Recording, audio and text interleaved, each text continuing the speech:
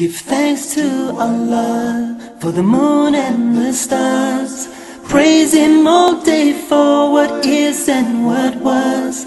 Take hold of your Iman, don't give in to shaitan. Oh, you who believe, please give thanks to Allah.